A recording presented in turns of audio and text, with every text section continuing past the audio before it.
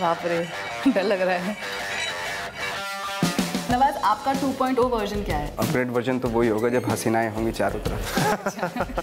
अनुराग आपका कत्लेआम करने में कौन होगा सबसे आगे लाइन में? कोई तो है जो मेरे ऊपर निगरानी रख रहा है। हाँ निगरानी हाँ, निगरानी। यार मेरा superstar tonight at 8.